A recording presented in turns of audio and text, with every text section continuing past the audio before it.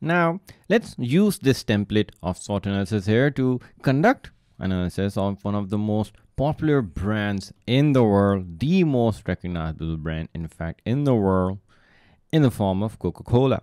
I'm sure we all know what Coca-Cola does, so let's try to figure out if we can what the SWOT analysis of a Coca-Cola company would look like.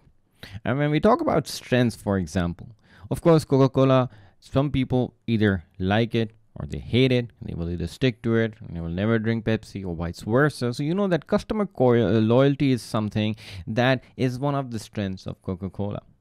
They have excellent marketing abilities so you know with their ads with the different campaigns during uh, timed so well during the holiday seasons and other times of the year they're able to capture big markets. So they and they've always proven to have that skill and that ability. So they definitely that's one of their strengths they also have huge distribution networks, sponsorship deals with others, which is something that gives them an advantage over the other smaller competitors.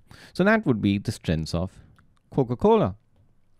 When you look at the weaknesses, one of the big weaknesses, and we don't really realize it until we think about it, that Coca-Cola's sole business is beverages. So they are highly dependent on selling drinks. Compare that to Pepsi, more of their revenue comes from selling food items than from beverages. So maybe Coca Cola is too dependent on just selling beverages. There's also a lot of negative publicity with Coca Cola and the uh, amount of nutritional damage it causes. And of course, in order to expand, they've had to take a lot of loans and through a lot of gearing, they have to pay a lot of interest. So maybe that's something that's losing them a lot of money along the way. But when the Coca Cola company looks at opportunities, what are things in the external environment that are going in their direction, is that the bottled water market is growing. So they have their own brand and they sell their own bottled water, and that's another way to further expand the company. They can change, turn their weakness into an opportunity and look to go into the food industry and see if they can diversify and also start making money through food and they also have in fact growingly now gone into making more healthy drinks. So the demand of healthy drinks is something that presents an opportunity for coca-cola. In terms of threat competition like of course pepsi and you know that it's uh, there's not just pepsi there's other drinks there's red bull and other that you can drink in place of coca-cola. So there's growing competition. Also most companies now require nutritional information to be provided on a consumable product.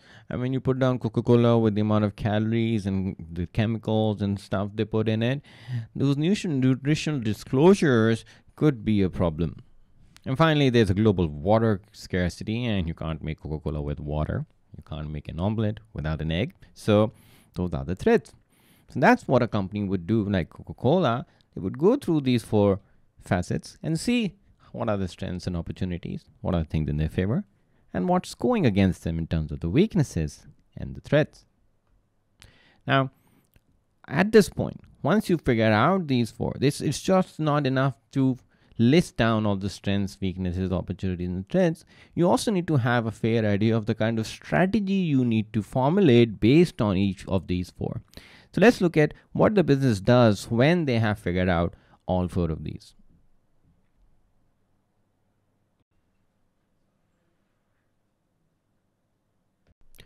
So with all four of these figured out, Coca-Cola company and all the businesses need to figure out what strategy do we make based on all four of these.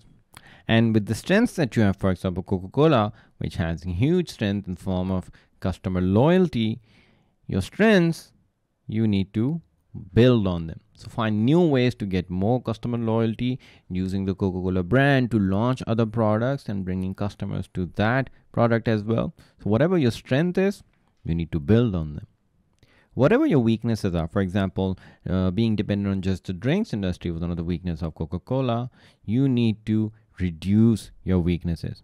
Of course, you may not be able to remove them completely, but you need to reduce it as much as possible. You can't, Coca Cola, for example, can't stop selling drinks. That just won't be Coca Cola. So maybe find a balance between selling food and beverages at the same time with the opportunities. For example uh, we saw with coca-cola that one of the opportunity was that there's growing demand for bottled water. You need to capitalize on your opportunities. So with bigger production units all over the world selling uh, making bottled water coca-cola is on the right track. And with the threats, for example, uh, with growing competition with other beverages entering the market like Monster, Red Bull, etc. With the threats, you need to minimize them as much as possible. So maybe by focusing on your strengths more, you can reduce these threats that you are facing. So these are the strategies that you build based on the analysis of SWOT.